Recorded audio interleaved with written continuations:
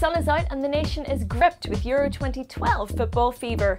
Looks like summer has finally found us. To celebrate, kick back whilst we regale you with the latest goings on in this EA update. Conspiracy theorists had better start prepping their keyboards as the Secret World final beta weekend has begun. This much anticipated modern day MMO, which builds on well known real life myths and legends, will have players logging on to unravel mysteries, join secret societies, and battle it out in massive PvP locations. With this final beta, dubbed The Battle Begins, players can access all content from previous beta weekends, plus brand new PvP gameplay. Ever fancy to fight on Stonehenge? Now's your chance. Fancy a slice of the action? Register via the game's official site now for access to the three-day beta bonanza. World domination just came one step closer. Battlefield 3 Close Quarters is finally available to players using the PlayStation Store and the Battlefield 3 in-game store.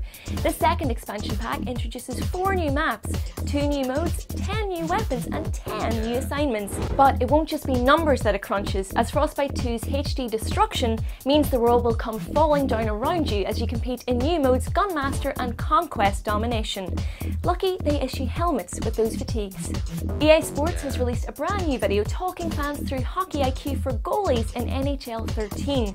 In this quick clip, producer Sean Ramjagsingh compares the new title to NHL 12 and how goalies are now aware of every player on the ice and can anticipate passing opportunities accordingly, making for a much more strategic game. With Hockey IQ, AI players can now recognise more threats and play more positional tactics, limiting the puck carrier's options. NHL 13 will also feature the all-new GM Connected and NHL Moments live modes, worth buying a big foam finger for. In other NHL news, EA Sports and NHL.com have just announced the results of the first ever NHL cover vote campaign, which gave fans the opportunity to pick which professional player would be the face of the franchise. There were almost 26 million votes cast to ultimately select Claude Giroux as the NHL 13 cover athlete, beating Nashville Predators goalie Pekka Rinne in the final. If that doesn't earn you bragging rights in the locker room, I don't know what will. Medal of Honor Warfighter has recently announced their partnership with Magpul, crafters of rifle magazines, weapon components, accessories, and complete firearm designs. At the international photo shoot for Medal of Honor Warfighter, where 12 Tier 1 operators were outfitted representing the 10 different nations in the game, Magpul were on the scene supplying their entire line of state-of-the-art parts and their industry expertise to help ensure everything was as authentic as possible. Standard issue? Ha! We'll take an unfair advantage any day. Speaking of Medal of Honor, fans now have an exciting opportunity to ask questions to a former Tier 1 operative through the Medal of Honor Warfighter Facebook and Twitter pages.